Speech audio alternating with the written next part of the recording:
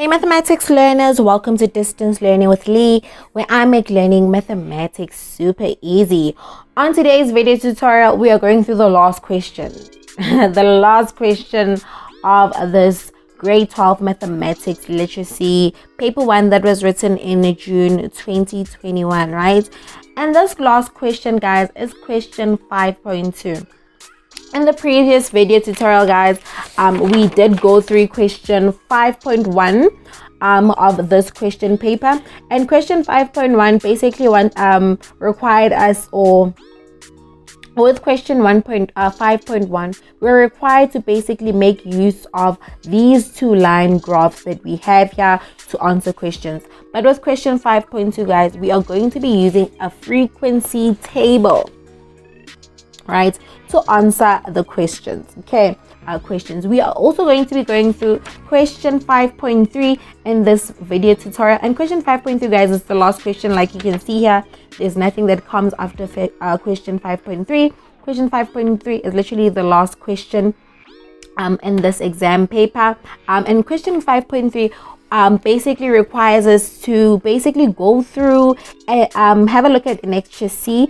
And Annexure C basically um, has a stacked bar graph and we're going to use the stacked bar graph to answer questions, right? Before we get started with the video tutorial, guys, please make sure that you are subscribed to the channel. Please make sure that you hit that notification bell so that you get notified every time I upload a new video tutorial. Okay, don't play yourself like that. Please make sure that you hit that notification bell. And also, guys, please make sure that you give this video a huge thumbs up. Please engage with these videos. Give them a give this video a huge thumbs up um, because that really helps the channel grow and it helps the channel reach more learners that just want to better their mathematics mark guys. Please do that for me. Please do not leave this video without clicking on that like button. I cannot stress this enough guys. And also please also make sure that you engage with me on the comment section right? Tell me how you found the video. Did um did I simplify everything for you guys? Did I make it easy for you guys to understand? But that is the main point of this channel is for me to simplify everything and make it straightforward and easy for you to, to, understand. From now on, I will actually be uploading more consistently to help you guys prepare for your June exams, right? So thinking of the the 2019 papers or the 2020 papers, you guys will tell me which ones you want. I'll actually do a, a poll and then you guys can vote which ones you'd like for me to do. And I'll also be uploading that for you guys. So I'll try and upload more regularly i'll try and be consistent like maybe four videos or three videos a week for you guys so that you guys are prepared i'm well prepared for your exam your junior exams and even your class tests your major class tests all right so guys without any further ado let us just get started with the video tutorial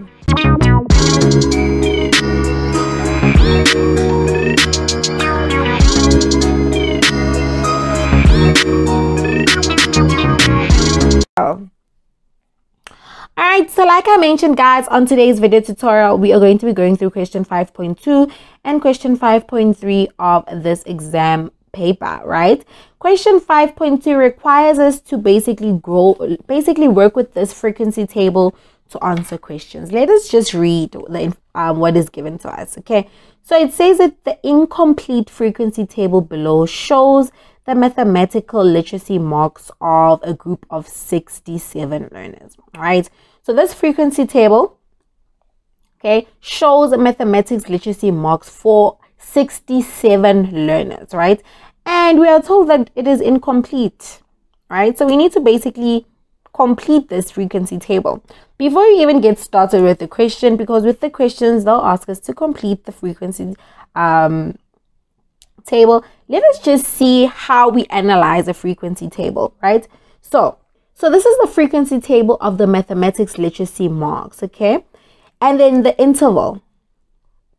So, learners that got between 80 to 89%. There's three learners. Yo, I, it's rough. Right? So, we've got 67 learners and from those 67 learners, only three learners got 80 to 89 right?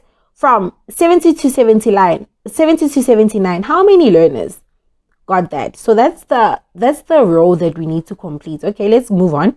from 60 to 69, how many learners, right? We've got five because with when you're reading a tally, right? Let me just explain this to you. With a tally, with a tally, you say one, two, three, four, and when it's five, you do a line like that. Okay, so that is five ten right? 11, 12. So you've got 10, 12 learners that got between 60 to 69. 50 to 59, you've got 5, 6, 7, 7 learners. 40 to 49, you've got 5, 10, 15 learners. Um, 30 to 39, you've got 5, 10, 15, 16, 17 learners. 20 to 29, you've got 4 learners. 10 to 19, that learners that got 10 to 19% got 2 learners. And learners that got 0 to 9%, 1. Okay, so that's basically how you do the tallies. Now let's go through frequency. What do frequency, what does frequency mean? Frequency just means that like the amount that you got in the tally. So if you've got three, that is the frequency. How much, right? So how much? So that's the frequency. It's three. That's the three. Okay. Or how much it occurs. Like frequency, how much it occurs, right? So we've got three learners, right? Uh, here we got 12, right? So that's just the frequency. And the cumulative frequency. What does cumulative frequency mean, right? When you add the frequencies. So from 0 um, to 3, so the first one is 0. So that's the first cumulative, the first value for the cumulative frequency. To get the second value, say 0 plus this 3 gives you the 3. To get this value, you're supposed to take this 3 plus this value. We'll put this x here to get that value. Okay, so it's going to be 3 plus x, 3 plus x 3 plus this should give you this value. Okay, to get this value is 3 plus x plus 12 should give us this value, right? So I just put the x there to show that this is unknown, right? And I'm just trying to show you that to get to that value, it's supposed to be 3 plus this value to give us this value, right? To move to that value, it's this value plus this value to go to this value. To get to the next value, let me even show you. 21 plus 7 is 27, 28, right? That's how we got to that value, right? To move to this value, say 28 plus 15 gives you 43, right? To move this to this value, 43 plus 17 gives you uh, gives you 60, right? 43 plus 17 gives you 60, right? To go to this value, 60 plus 4 is 64. 64 plus 2 is 66. 66 plus 1 is 67 we don't have to use a calculator for for these ones guys right so basically that's how they get the cumulative frequency so because now i've explained how what is the frequency? Oh i've explained what is the tally what is the frequency what is the cumulative frequency. Guys i think we're now ready to analyze this question. Okay so let's look at question 5.2.1 it says complete the tally for the 70 uh, to 79 interval. Before we even uh, complete the tally, okay, for the 70 to 79% interval, we need to get the frequency as well as the cumulative frequency. Okay, so how do we get that? Like I mentioned, guys, to get the cumulative frequency, is that plus this value to give us that, right? So how can we move backwards? how can we move backwards to, to, to get that value? Let's see. If I say 43 minus 15, will I get 28? Let's see.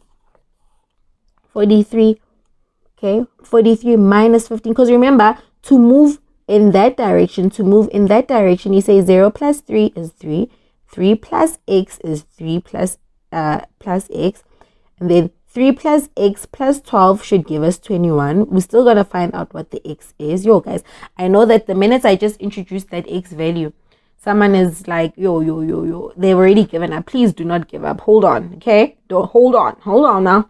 Right? So 12 plus 21, I mean 21 plus 7 is 28, right? So we're moving forward or downwards by adding we, are adding, right? So I think that's that's that's perfect. We're gonna add, right? To adding, right? These values as we go down. Meaning when we go up, what need must what must we do? We need to subtract. Okay, the values, right? Let's see. If I say 67 minus 1, I get 66. If I say 66 minus 2, I get 64.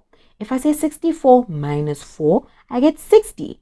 If I say 60 minus 17, you can even check for yourself in the calculator as I go. 60 minus 17, it's going to be 43. 43 minus 15 is equals to 28. Right? 43 minus 15 is equals to 28, right? 28 minus 7 is equal to 21. Therefore, 21 minus 12 is going to give us that value there. Okay, I'm going to remove the x's now, guys. Right? I think, yeah, I think we're cool now, right? So, so 21 minus 12 is going to give us that value there because we are going in that direction. We are going upwards, therefore we need to subtract because when we go downwards, we are adding. I think I've explained that properly, guys, right? Okay, so 21 minus 12 is going to be equal to that cumulative frequency there, right? So we're just going to take that. 21 minus 12, which is equal to 9. Okay.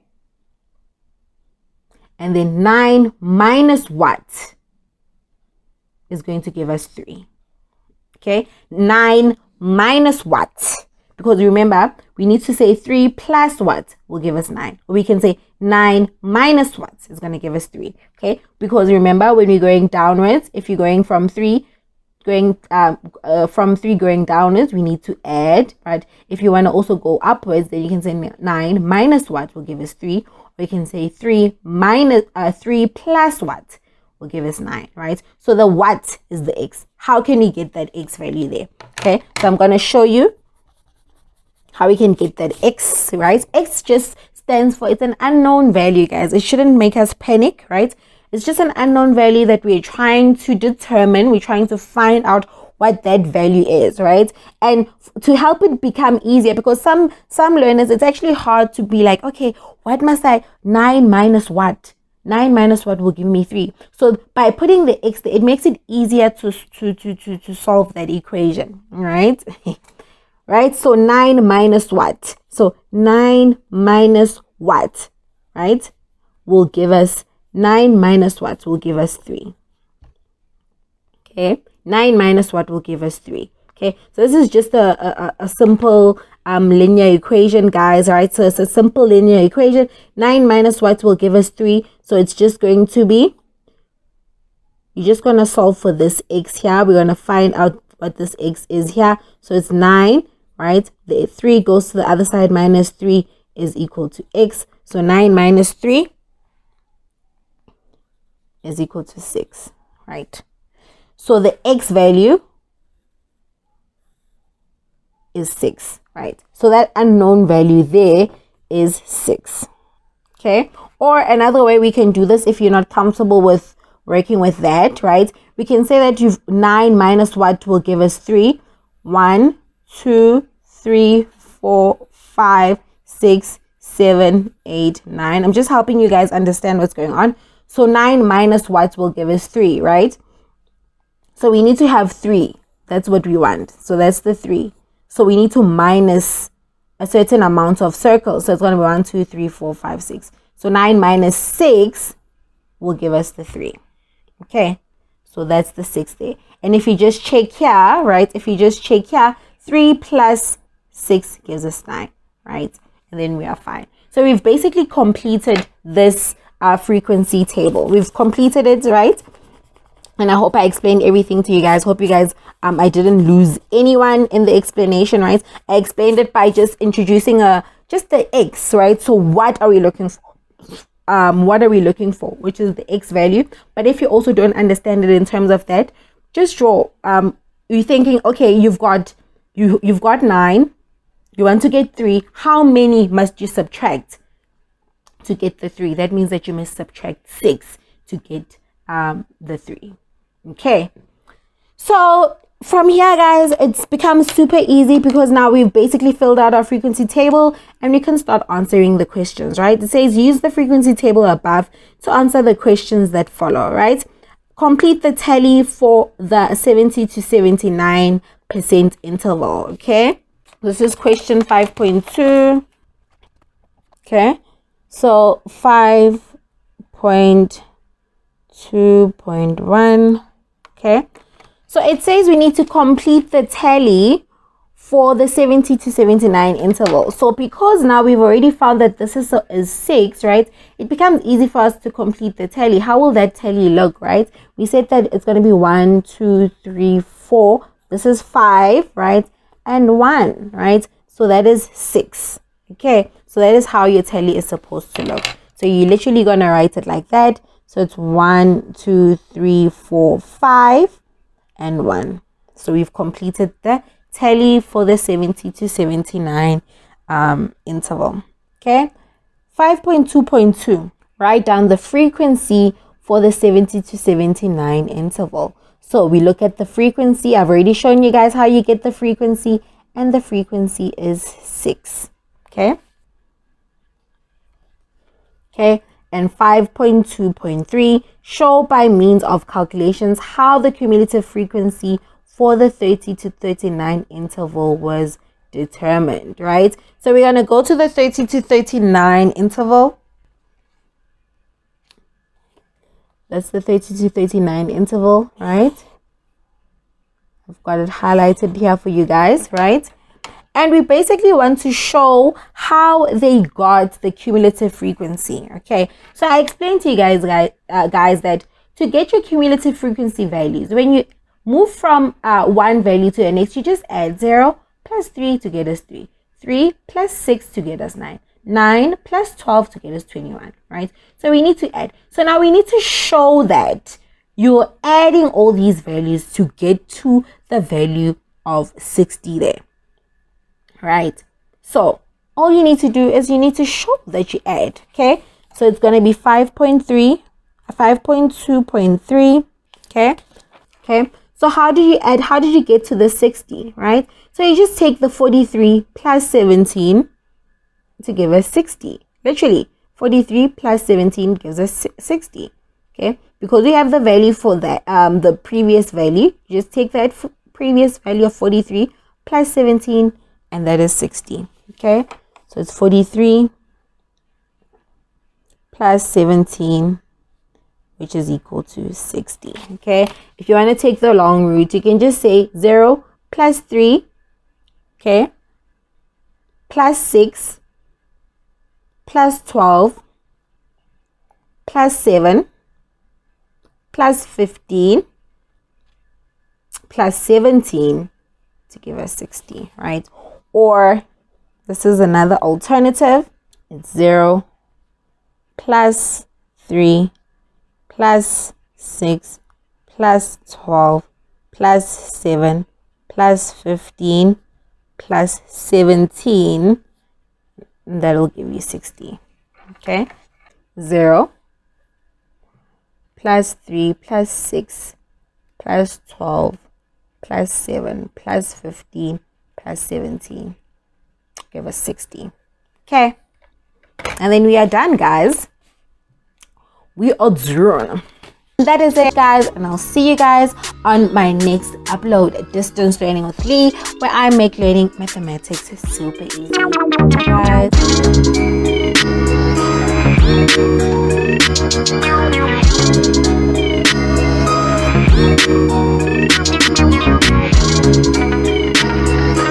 Música